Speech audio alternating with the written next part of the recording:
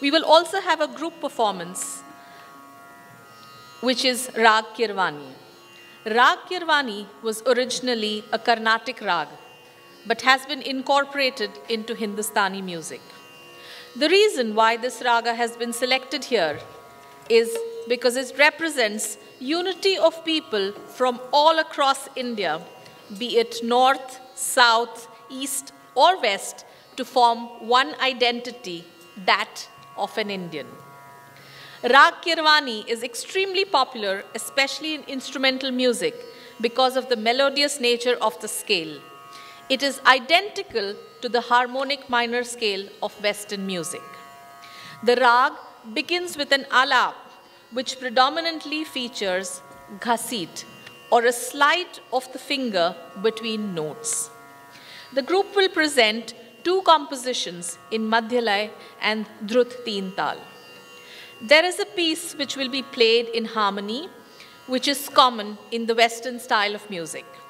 The raga culminates in a fast-paced jhala, which features thok and laikari. Hello. This rag Kirwani is a Carnatic rag. So the glimpse of Carnatic music is attempted here. Also, as this is the era of, it is a contemporary time now, it's come as per our theme. So a lot of uh, experiments had been done in terms of sitar playing also. And there is factor called fusion has come in. Of course, we are not doing fusion any, uh, at all. But harmony is a very important factor. Harmony you will be able to hear and I'm sure that you will like. Harmony is basically a Western music uh, uh, subject. Western music is based on harmony and Hindustani music is based on melody that all the music lovers know very well. So the element of Western music we are uh, incorporating here with Rag Kirwani. So I'm sure you like. I would like to get your feedback soon after the concert is over. Thank you.